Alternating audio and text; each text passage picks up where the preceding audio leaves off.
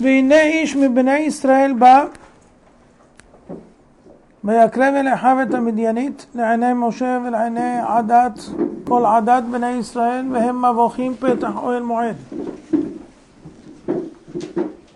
אמרו חכמים זיכרונם לרב סנהדרין פ"ב והם הבוכים שנתעלמה ממנו הלכה. וירא פנחס ראה מעשה ונזכר הלכה. אמר למשה מקובלני ממך בועל ארמית קנאים פוגעים בו. אמר לו קריינא דאיגרתא איהו להווה פרוונקה. כלומר, פרוונקה הוא השליח. מי צריך להיות שליח? דווקא קורא האיגרת. למלות שליחות בכל הדקדוקים יוכל רק מי שיכול בעצמו לקרוא. נהיות הקריינא דאיגרתא.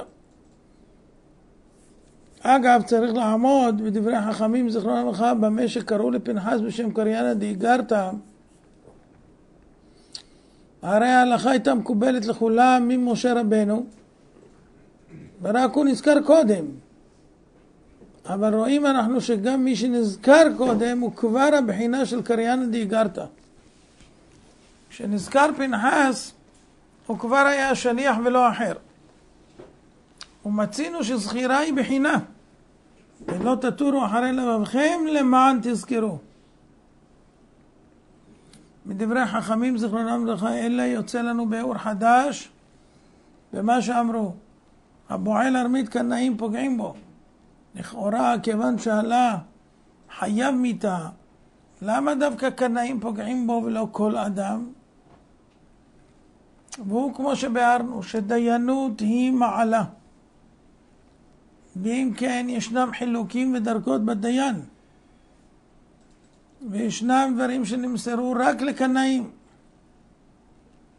שרק הם בעלי המעלה של הדברים האלו ורק הם מהקריינא דאיגרתא כי העונשים של התורה אינם עונשים בעלמא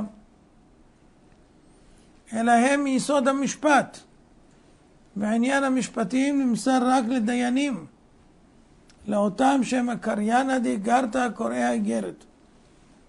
היסוד הזה של קריינא דאיגרתא אינו רק בדין זה, אלא בכל משפטי התורה, שבכדי לעשותם צריך דיין. זאת אומרת, צריך את הקריינא דאיגרתא. דיין אינו מושג כמו דיין באומות העולם, אלא דיין זו מעלה ודרגה באדם. והזוכה במעלה זו הוא הנקרא דיין. יסוד הדיין וגדרו הוא שצריך להיות בבחינת אוהבי אדוני שנאו רע. קודם כל דיין חייב שיהיה לו הבחינה הזאת שהוא שונא רע. שונא מעוולים, עושה רע, שאינו סובל עושק וחמס, שכל הגדרים של הדיין הם וביערת הרע מקרבך. וכשהוא בעל כל המעלות הללו, הרי הוא דיין. כמובן שהוא מקיים את ההלכה הראשונה, שמוע בין אחיכם ושפטתם צדק. ועל יסוד זה מורים, על יסוד זה מורים לנו כל גדרי הדיין המנויים בתורה הקדושה. לא תטה משפט. האם אפשר להיות במעלה זו רק על ידי לימוד ארבע חלקי שולחן ערוך לחוד ולקבל יורה יורה ידין ידין? מבלי שיהיה לו תכונה בנפש? האם אפשר בלי תכונה בנפש להיות דיין? וכן צדק צדק תרדוף, שאמרו חכמים זיכרונם לברכה שזו מידת הדין. אלא ודאי שזה מידות ומעלות בדיין. ואילו לא נמצא בעל המעלות האלו, לא היה מציאות של דיין כלל בעולם. וכיוון שמהותו של דיין הוא מעלת הדיינות. אם כן, בלעדיה בטלו הדיינים.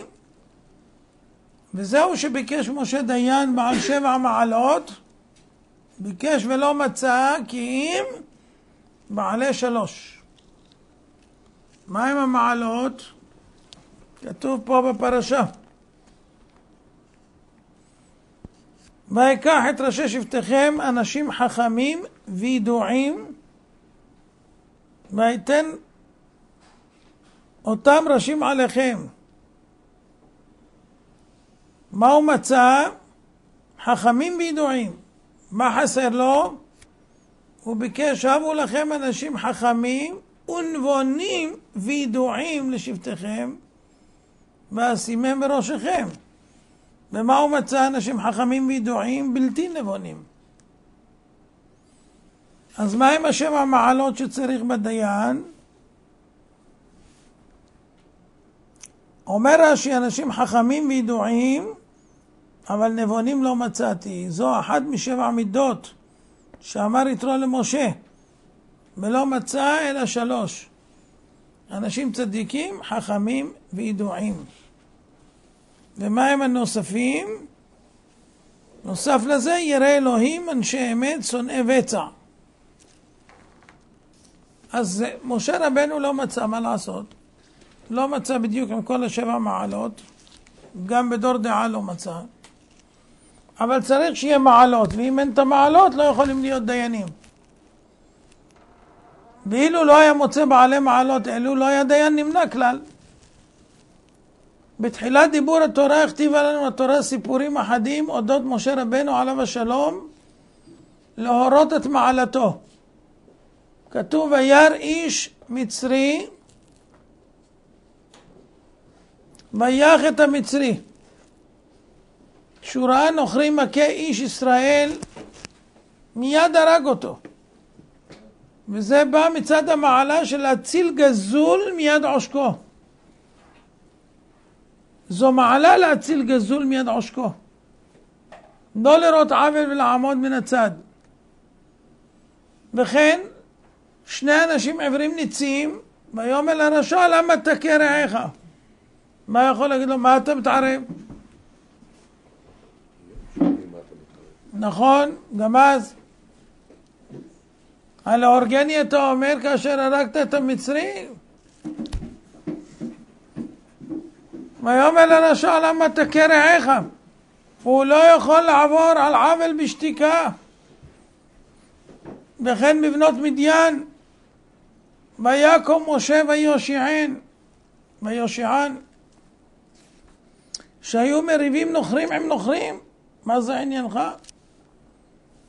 והוא זר להם לגמרי. והוא במצב של סכנה, בורח מחרב פרעה. אז לא למדת שלא כדאי להתערב. והנה היית צריך לברוח בשביל זה. לא. ואף על פי כן ויקום משה ויושיען כי הוא היה איש אמת והוא לא יכול לראות עוול וחמאס וזה דיין. הנה כשבהרה לנו התורה אודות משה רבנו שהיה המנהיג, השופט והדיין של כלל ישראל, סיפרה לנו במעלות שלו עד כמה היה בדרגה של שונא עוול. ומשום זה הוא זכה להיות מנהיג כלל ישראל. והוא גם היה נושא בעולם חברו. שהיה יוצא לכלל ישראל ומשתתף בצערן ונושא איתם בתית ובלבנים. צדק צדק תרדוף למען תחיה. כתב הרמב"ן במדרשו של רבי נחוניה בן הקנה דרשו בו סוד. צדק זו מידת דינו של עולם. שנאמר צדק צדק תרדוף. וכתוב אחריו למען תחיה. אם תדין עצמך, תחיה. זאת אומרת, אדם צריך להיות דיין לעצמו כל הזמן שהוא הולך על פי האמת. אם כן יאמר הכתוב, תשפוט אתה בבית דינך ותרדוף צדק ותשיג אותם למען תחיה לעולם הבא בצדק השני שהוא צדק העליון. והוא האור הגדול הצפון לצדיקים לעתיד לבוא. והוא עוזו של הקדוש ברוך הוא. רואים אנו מכאן איזו מעלה הוא דין ומשפט שעל ידי זה זוכים לסוד החיים. ומזה תצא לנו הערה ליום הדין שכל עבודת האדם לזכות בדין שעל ידי זה יזכה בחיים, צריכה להיות העסק בעניין משפט. שכיוון שכל עניינו של ראש השנה הוא דין ומשפט, ממילא כל עבודתו היא להיכנס לדרגת דיין, שדיין זה הסוד של למען תחיה. אז מי שחי על פי דיני התורה ומקיימם בעצמו, ולאחר מכן גם באחרים, זו דרגת דיין, זה מעלה לפני הידיעות.